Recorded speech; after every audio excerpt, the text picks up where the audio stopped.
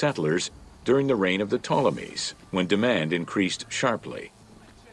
Olive trees were normally found in the region of the Fayum and the lands surrounding Alexandria.